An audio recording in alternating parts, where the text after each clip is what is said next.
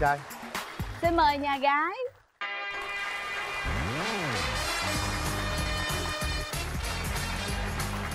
bây giờ thì à, em trai giới thiệu về mình lớn lên cho bên nhà gái nghe luôn nha À, em à, xin chào anh Quỳnh Linh, Chào em. à, chị Ngọc Lan, chào quý vị khán giả. Chào em tên em. đầy đủ là Trần Thanh Tấn. Em sinh năm 90 và quê quán của em là ở Hậu Giang và hiện tại em đang công tác ở công ty xe buýt BKMS Tokyo của thành phố mới Bình Dương. Tuấn làm bình dương à, làm à, cụ thể làm cái gì? Và em à, lái xe bên xe buýt với chở chuyên gia Nhật. mời nhà gái. Em giới thiệu về mình nha. Dạ, em tên là Trần Thị Hồng Phúc, em năm nay 25 tuổi, hiện em đang làm công nhân tại một công ty may tại quận Tân Bình. ở Tân Bình là em ở với ai? Dạ em ở với ba mẹ. à ba mẹ ở tân bình luôn.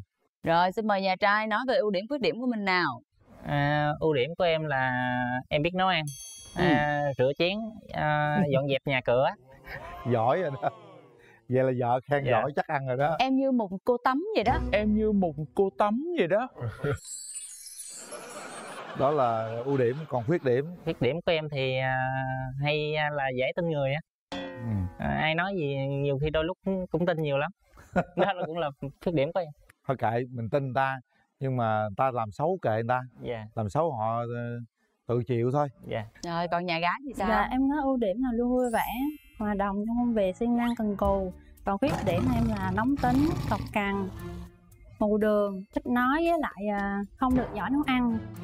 bên Để đây nấu ăn được em chắc là ít đi ra ngoài lắm đúng không số nguyên một Ừ. tuần là chắc chỉ làm việc xong rồi thứ bảy chủ nhật rồi ở nhà thôi Dạ, đúng chơi quanh quanh quanh không sao đâu nhà trai tôi lo hết mấy vụ đó đúng nhỏ mà. rồi đừng từ đây về cằn, được lo ờ, mấy chuyện này nữa không em gái trời Dạ. dễ thương quá vậy Ờ, cọc Là dữ hả nóng tính thôi, ai ai chọc em giận là em giận thôi mà chứ. cọc lên là làm gì cọc làm sao em giận là em bỏ đi à, hoặc là không nói chuyện nữa. vậy đâu phải cọc đâu cọc phải luyện đồ đập đồ đá văng đồ này kia chứ cái nhìn nó dễ thương quá dễ thương quá Ừ. trời luôn nhìn không có thấy không cọc nổi đâu mình à, dễ thương như vậy nè mà Ừ. hơi mù đường vậy nè rồi mình có bao nhiêu mối tình rồi Dạ em chưa yêu ai ra giờ nên không Ủa có sao mối tình nào.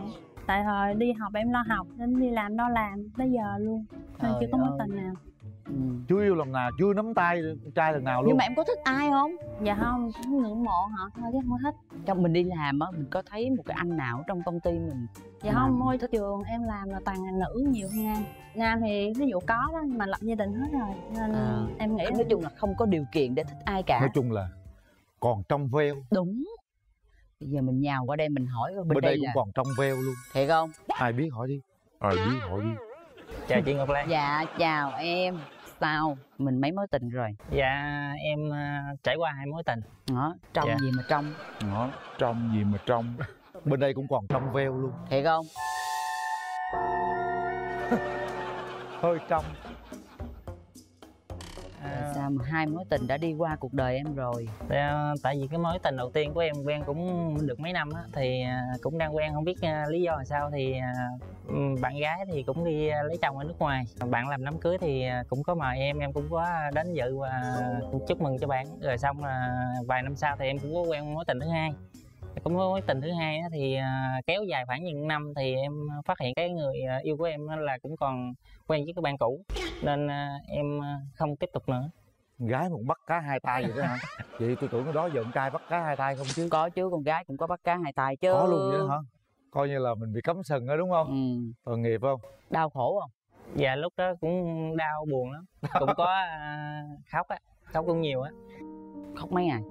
Khóc à, lúc đó là đi đám xong à, rồi xong em ra đám thì em vừa chạy vừa chạy xe vừa khóc. Ừ. À, lúc đó trong cái tháng đó thì à, em cũng giảm tới mấy ký á ba Ừ. bốn ký á. chị Lan nói nè mình mà bị cấm sừng á mình đừng khóc. Trừ khi nào mà mình hai đứa rất là thương nhau nhưng mà vì mình không lo được cho người ta hoặc mình làm lỗi một cái điều gì đó thì mình hãy khóc ha. Hoặc bị cấm cản thì mình hãy khóc chứ còn mà người ta cấm sừng người ta không không nhưng mà người nói gì không được người ta đã thương rồi người ta buồn người ta phải khóc thôi. Chuyện bình thường có cấm cái gì tôi cũng khóc là khóc Ha, à bị cấm sừng nói vậy thôi chứ trong lý thuyết thôi. Ha. thực tế không tôi có bị đâu hoài mà đúng không? bao giờ khóc. Trời ơi đúng không tuấn? Dạ. Mình ta thương mình thương người ta quá người ta bỏ đi lý người ta có người yêu khác mình buồn mình khóc thậm chí ức nữa. Dạ đúng mình bị cấm sừng mình ức mình khóc vậy thôi. Dạ. Nè người yêu cũ mời đám cưới có Đi bỏ bao tiền? không dạ có. Liên nhiêu tiền? Dạ đi mừng cưới là 500 không cũng tốt có 500 mà được dễ rồi. tôi qua nhà gái nhà gái rất là xinh xắn luôn. Ừ. bây giờ vậy nè bên kia thì có kinh nghiệm hơn tình yêu họ sẽ trao đổi với mình à, hướng dẫn mình yêu đương nhiều hơn dạ rồi bây giờ là mình muốn à, có người yêu lý tưởng mẫu hình như thế nào mẫu người lý tưởng của em á là chín chín chắn chững Ừ. chạc có tính tự lập cao ừ. có công việc sự nghiệp ổn định lâu Ừ. dài cao trên một m sáu ừ. hòa đồng vui vẻ biết nấu ăn với lại là không thuốc không cờ bạc rượu bia Ủa tiêu chuẩn là nó có lâu chưa vậy dạ có lâu rồi mà chưa chưa tìm ra đúng không Đúng rồi. hèn gì rành rọt quá. Nói tiêu chuẩn rất là ờ rành. luôn. nói xuyên suốt coi như nó nhanh lắm. Leo luôn. Tức là nó nó nó, Nó nằm trong trong đầu, đầu rồi. trong đầu lâu lắm rồi đúng không? Dạ đúng mà chưa tìm ra người đó. Dạ chưa. Bây giờ là nhà trai đáp ứng được bao nhiêu phần trăm trong cái tiêu chuẩn nhà gái? Dạ em đáp ứng khoảng chừng 98 phần trăm. Đó. An tâm chưa? Thấy bạn muốn hẹn hò uy tín không? Đó trời ơi còn nhà trai muốn tìm một người bạn gái như thế nào? À, tìm bạn nữ thì à, hòa đồng tính tình thì vui vẻ lễ phép với người lớn. Có một chút à, truyền thống một chút hiện đại trong đó thì càng tốt. Bên đó cọc lắm á. Bên đó cọc lắm á. Cặp thì em lo được. Em lo được đúng Dạ. không? Ừ. Không đâu à. tuấn ơi bên đây cọc dễ thương lắm. Yên tâm càng cọc càng dễ thương. Rồi bây giờ chúng ta hỏi người thân đi tuấn đi với ai? Dạ hôm nay em à, đi với tính đi với ship mà ship bận cho nên em đi một, một mình. Rồi có anh quyền linh lo. Dạ. Nhà gái đi với ai cưng? Dạ, em đi với mẹ mẹ em nghỉ à rồi con chào cô. À, chắc mắt tay chào à, hai MC dạ. Chào khán giả có mặt tại trường quay. Cô thấy nhà trai sao cô? Chững chẳng nhìn cũng à, được cái con mẹ nhìn được cái con cái đó là do con thôi. Đó mẹ nhưng mà. Nhưng mà cô thấy chàng rể tương lai này cô có ưng chưa? Cô có chịu chịu trong bụng chưa? Cũng chút chút. Dạ đó vậy đó vậy là mình có thêm niềm tin rồi. Cảm ơn mẹ. Rồi bây giờ chúng ta cho đôi trẻ gặp nhau thôi. Bây giờ mở rào đi. Mở rào.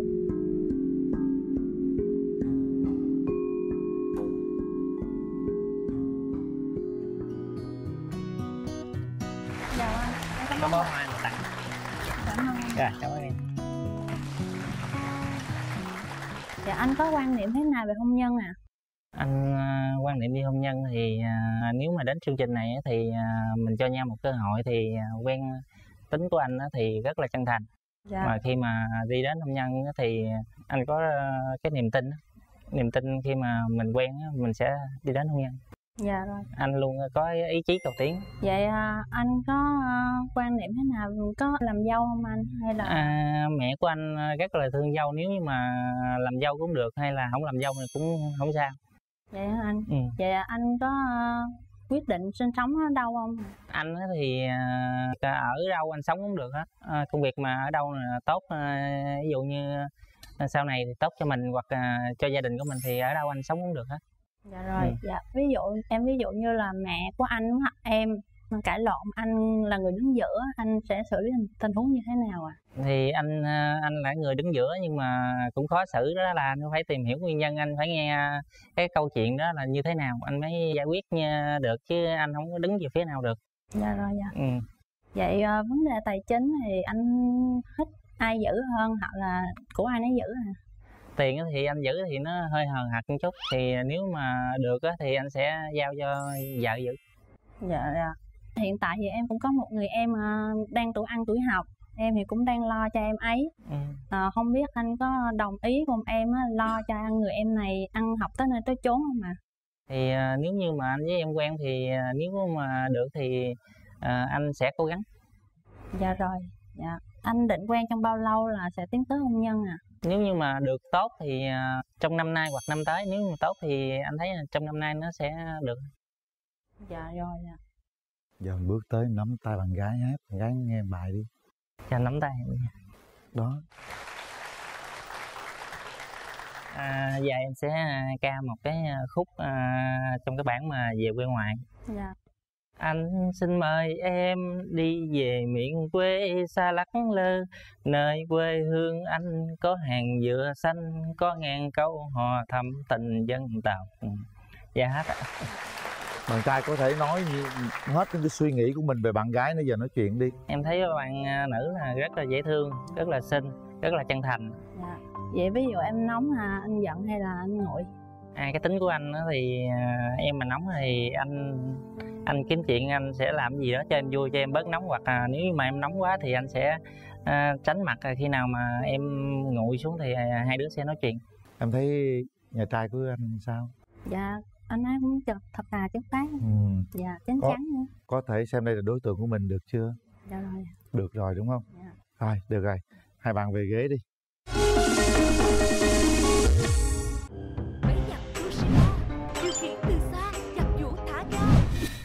Bây giờ các bạn hãy nhắm mắt lại, suy nghĩ về những gì chúng ta đã nói với nhau.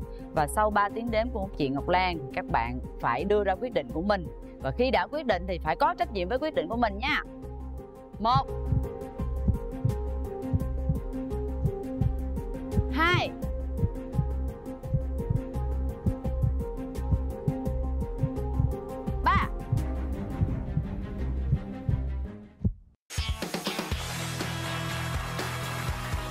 Chính thức chúng ta hẹn hò với nhau rồi đó. Nắm tay nhau đi. Nè nói gì với bác gái đi. À, dạ con chào bác. Hôm nay con cũng cảm ơn bác để à, đến cái chương trình này bác cho con cơ hội thì con hứa con sẽ sau này à, nếu mà tiến được xa hơn con sẽ bảo vệ và lo cho em đến hết cuộc đời. Xin bác hôn đầu tiên dạ con xin phép bác à, hôm nay đến chương trình này cho con à, xin được hôn em cái. Đó gật đầu đó. Con cho anh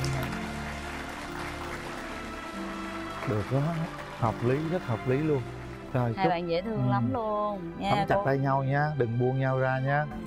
Yên ạ Ờ, Sinh năm 1991 ạ. Quê em ở ờ, Quỳnh, Quỳnh Phụ, Thái Bình ạ. Em đang làm ờ, công nhân tại một công ty Trung Quốc ạ Rồi, mình là Đào Thị Yên hả? Dạ vâng ạ Ờ, Đào Thị Yên quê Thái Bình Là hiện tại mình đang làm việc ở Thái Bình luôn Dạ không ạ, em đang làm việc ở Nam Định ạ Rồi, quê Thái Bình đang là Mình làm công nhân mà cụ thể là mình làm về cái gì? Dạ vâng ạ Mình làm công nhân là mình làm về cái gì á? Sản xuất cái gì? Ờ, Dạ sản xuất về đồ chơi ạ. Đồ chơi nhưng mà là đồ chơi ờ, trưng bày, đồ chơi xuất đi Nhật ạ. Ừ, sản xuất ờ, đồ chơi xuất đi Nhật. Là mình làm ở đây lâu chưa? Dạ em làm ở công ty này được ờ, 6-7 năm rồi ạ. Thế Ừ. nhưng mà trước thì ờ, chi nhánh chính là ở Thái Bình ạ. Ừ, thế nhưng mà còn à, rồi là cứ mỗi khi mà công ty mở chi nhánh mới thì em lại đi theo chi nhánh đấy nên em mới làm ở Nam Định này được ờ, hơn một năm thôi ạ. Ừ Mình làm như vậy thì thu nhập của mình như thế nào? à, thu nhập thì cũng ờ, theo mức khu vực ở quê ấy chị nó cũng thấp thôi ạ. Thấp là bao nhiêu á? dạ được uh, 8 9 triệu ạ. Ừ Ờ, vậy thì nếu mà Và chương trình ờ. Ừ, nếu mà chương trình ghi hình ở Sài Gòn thì mình có sắp xếp vào tham gia được không? dạ được ạ nhưng mà tức là phải báo trước Ờ, suy nghĩ nữa ạ ok, có thể vào Sài Gòn ghi hình được ha. Rồi bây giờ là Yên chia sẻ một xíu về à, bản thân mình đi, những cái điểm mạnh điểm yếu của mình ra sao ha? À, dạ em là một người thì từ trước đến giờ từ nhỏ ấy ạ ờ, đã mình đi ra ngoài độc lập rồi ạ. Nên là mọi người thì thường đánh giá là mạnh mẽ. Ừ, nhìn bề ngoài thì rất là khó gần nhưng mà một khi đã tiếp xúc rồi thì ờ, rất là thân thiện và tức là theo cái suy nghĩ của em thì em ờ, mạnh mẽ cá tính thì từ trước thì cũng do cái áp lực của gia đình ấy ạ mọi người đi ra ngoài từ lần đi học cũng thế mọi người cứ theo cái suy nghĩ là con gái thì yếu đuối không làm được cái này không làm được cái này thì em cứ thích làm những cái việc mà con trai người ta làm. Ví dụ như ngày trước ờ, đi học ấy ạ thì ờ, em cũng có giấu gia đình nên là à, em thi vào trường xây dựng. Thế thì cả một khoa có mỗi mình em với một người người con gái nữa thôi. Hơn một nghìn học sinh nhưng mà chỉ có hai người con gái nhưng mà em vẫn cứ thích vào vì em muốn chứng minh cho mọi người là cái gì bạn làm được thì tôi cũng làm được nhưng mọi người hay đánh giá là mạnh mẽ và có cái gì đó rất là ương bướng ừ. Ủa là hồi trước là t- cô từng à, thi vào trường xây dựng rồi hả? Là đã vào chưa? Có học xây dựng không? dạ có em học à, hơn một năm Ừ. hơn một năm thế là đến khi bố mẹ phát hiện học trường xây dựng là thế là không cho học nữa thì em lại à, thi lại và học kế toán theo nguyện vọng của bố mẹ nhưng à, đến khi học ra trường thì à, nhà em à, không có cơ không có gì cả nên là đi xin việc thì nó khó Ờ, Ừ. bạn em còn nói là nếu mà khi nào mà em xin việc cái hồ sơ lên đủ thứ 100 thì chắc là xin được việc đến khi xin được rồi thì ờ, lương nó thấp ấy chị. Ừ. Nên là từ đợt trước là toàn ăn theo bằng cấp ấy thì lương có hai ba triệu ấy xong đến khi em xin đầu tiên thì em là xin vào công ty này thì em cũng xin làm kế toán. Ừ. Nhưng mà công ty này yêu cầu ờ, phải biết tiếng Trung. Ừ. Thế là em lại thôi em không làm nữa thì sếp có giới thiệu là đi lên học làm kỹ thuật ấy ạ. Ờ Thế thì em cũng thử vào thử vào thì thấy là cái này nó cũng tỉ mỉ. Ừ. Nên là cũng cứ theo làm theo làm cho đến bây giờ thì nên là làm luôn đến bây giờ nên là học một bao nhiêu năm rồi? Ờ. Phí quá. Phí quá đúng không? Ủa là hiện tại là em đang đi làm luôn á hả? Dạ vâng ạ. Ừ. Rồi ok. Em ờ, trước giờ đã yêu ai chưa? Dạ có em có một mối tình à, à, thời sinh viên à, 7 năm ạ. Sau Ừ. đó kết thúc thì từ lần đấy là em à, mất niềm tin đấy chị. Mất niềm tin. Nói chung là và cũng do áp lực về gia đình nữa bố em là một người rất là lai trưởng nên mẹ em rất là khổ. Ừ. Nhà thì có ba chị em gái nên bố có, có suy nghĩ là con gái thì không được học ấy. Ừ. Trước tới giờ ăn học chi tiêu tất tần tật mọi thứ trong gia đình đều là mẹ em đánh phát hết. Nên là nhìn từ bố ra nên em sợ. Ừ. Còn kết thúc sau mối tình ấy rồi thì à, có tình yêu nhưng mà khi yêu thì không ai để ý là cái cái sự giàu nghèo của gia đình người yêu hoặc là để ý quá về cái chuyện là hoàn cảnh của gia đình à, à, đối phương ấy. Nên khi yêu rồi thì bọn em mới biết là gia đình anh ấy là con của một giám đốc ấy. ừ. Anh ấy người rất là xấu thôi. Thế nhưng Ừ. mà mọi người thì cứ bảo em là à, em nếu mà sau này ngoại hình thì, thì em sẽ hơn anh đấy. Thế nhưng mà sau em thiếu đi người để yêu mà tại sao lại yêu yêu người xấu như thế? Tại vì anh ấy rất là thấp. Em chỉ hơn một mét năm mươi nhưng anh ấy cũng thấp hơn em anh ấy béo đen và cũng có cái gì đó rất là giống giống diễn viên hiếu hiền vậy. Ạ ờ là cái anh mà em quen 7 năm đó hả? Dạ vâng ạ. Ờ Thế nhưng mà vì anh ấy nhiệt tình và ai quen anh đấy cũng nghĩ là anh ấy nói chung là tuyệt vời không chia đi đâu được. Nhưng mà đến khi về gia đình thì anh gia đình anh đấy lại nghĩ là gia đình em không muốn đăng một đối ừ. Mà em vẫn nén nút yêu sau 7 năm sau 7 năm thì bố anh ấy dùng mạng sống của của, của bố. Ừ. Ra thế nên là bọn em chia tay. Chia tay Trời. thì sau đấy thì em mất niềm tin. Ừ. Khi chia tay sau tầm 5 tháng thì em nhận được tin là anh ấy ăn hỏi và kết hôn với một con gái khác. Trời từ đấy về em nói chung là mất niềm tin với chị. Ừ. Ờ, rồi nhìn ờ, bố mình đối xử với mẹ mình nữa nên em sợ. Sợ Ừ. đấy là 3 năm. 3 năm em cũng ờ, có nghe theo gia đình ờ, theo mẹ và theo nói chung là theo gia đình quen biết một anh ờ, quen biết từ trước rồi. Gia đình thì căn bản biết biết gia đình rồi rồi mọi người cứ nghĩ là con gái thì tôi lấy người yêu mình hơn là lấy người mình yêu. Thế là em cũng chấp nhận trong vòng một tuần chị ạ. Một tuần hả? Rồi sao không hợp một tuần và kết hôn với cái anh mà gia đình giới thiệu đấy. À là em là kết hôn luôn á hả dạ vâng. Trời đất ơi vậy là coi như là cũng là mang tiếng là một đời chồng rồi đúng không? Dạ sau đấy về 2 tháng thì em mới thấy được uh, gia đình uh, uh, nói chung là nó khác lắm chị ạ. Ừ. anh thấy nghe em nhưng mà không có lập trường cái gì cũng nghe mẹ. Ừ. Ở nhà thì bố mẹ chồng thương chiều em nhưng dần dần rồi cứ muốn mối lái cho em về nhà ấy. Ừ. Không muốn cho em đi làm nữa tức là gia đình làm nông làm máy gặt các thứ đấy thì Ừ. gia đình lại muốn lái về cho em là à, sẽ mở một cửa hàng bán phân phân đạm ấy ở nhà nông ấy rồi từ A tới Z là mẹ chồng quản hết tiền nông nọ. ok em đi về thì em nghĩ là bố mẹ xây nhà rồi Ừ. nên là của cái rồi môn vàng bạc tiền nông mọi người đám cưới trao để em đưa hết cho mẹ chồng thế nhưng mà đi làm xong một thời gian thì thì chồng làm bao nhiêu thì mẹ chồng giữ thế xong rồi bố mẹ chồng cũng cứ muốn không muốn cho em đi làm ở ngoài nữa mà về nhà ừ, làm rồi thu nhập thì từ A đến Z mẹ chồng giữ hết Rồi em Ừ. khi em đi về nhà đẻ thì mẹ chồng cũng cũng như kiểu là ờ, khó chịu ấy. Ừ. Xong rồi chồng thì không có ý kiến gì. Xong rồi nhiều chuyện tiền nong em thấy lừa dối ấy. vậy là em ở với chồng đó là bao nhiêu lâu? À, được ờ, hơn được hơn hai tháng chị ạ. Ừ là có con chưa dạ chưa? Hơn 2 tháng mà em chấm dứt. Ờ chấm dứt cho tới bây giờ là được hơn 3 năm rồi. Và anh đấy thì cũng kết hôn và có hai người con rồi nhưng em thì nói chung là em vẫn sợ quá. À anh này đã nhưng mà dạ có rất nhiều người rất nhiều người đến nhưng mà nói chung là thấy không hợp hay như thế nào đấy thì rồi vậy thì là một người như thế nào bây giờ? Em cảm thấy là sẽ hợp và em sẽ yên tâm để bắt đầu cuộc sống mới nè. Dạ vâng ạ ngoại hình tuổi tác thì như thế nào em? Em không quan trọng cái ngoại hình tuổi tác cái đâu chị ừ. Người ta cũng đã từng lập gia đình thì có được không em? Thật lòng ạ. Ờ, dạ được ạ. Nhưng ờ, em cũng hơi lo ngại về vấn đề ví dụ là con cái ấy, thì bây giờ Ừ. nghĩ là lấy về nếu mà không có con chung thì nó không có sự gắn kết. Nhưng mà nếu mà có con riêng thì nhiều khi nó cũng phức tạp đấy chị. Thì bây giờ con riêng thì ở với với, với mẹ rồi chẳng hạn vậy được không? Dạ được ạ. Ừ. Rồi bây giờ anh này đang ở khu vực nào thì được?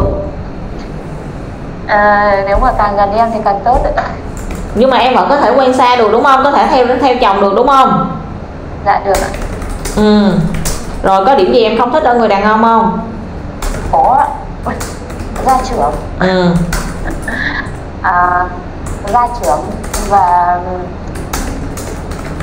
gia trưởng này này ca sĩ này. Ừ. Khi boy chị.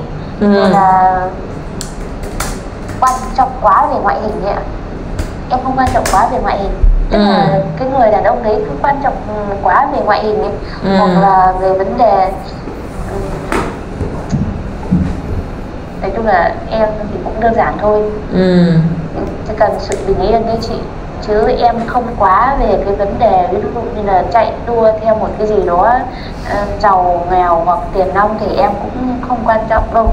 Hoặc là quan trọng là bây giờ anh phải có nhà, có xe rồi thì cái đấy em cũng không quan trọng lắm. Vì em nghĩ nhiều người giàu nhưng mà về cuộc sống nó không ổn định ấy chị. Thì có tiền thì cũng cũng chả là, cũng chả làm gì cả. Ok, rồi, cảm ơn à, em ha thì à, dựa trên những cái tiêu chí